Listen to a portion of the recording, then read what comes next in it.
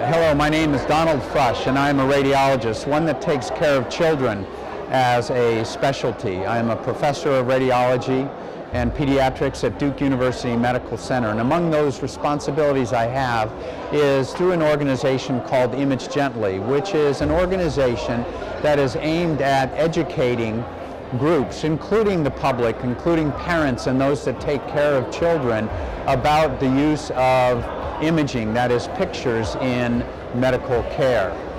One of the important things to realize about pictures such as x-rays as uh, such as CAT scans, ultrasound, and MR imaging or magnetic resonance imaging is the huge value they bring to the physicians who request these studies in taking care of you or your patients. They provide extraordinarily beneficial information.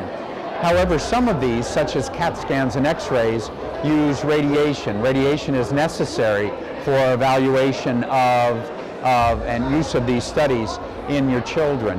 Uh, some people are concerned about the radiation used.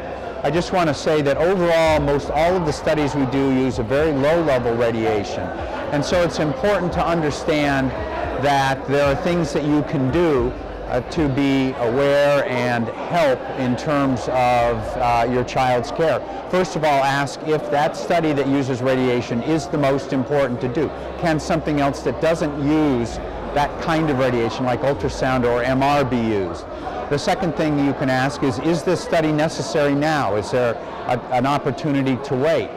The next thing, and this is very reasonable to ask, is at, at the the practice or the hospital where your child is getting this information, this study done, is is it done with attention to the needs and specifics of your child? That is, is the examination child size? Will they pay attention to the detail that is needed to make sure that this is done correctly for your child?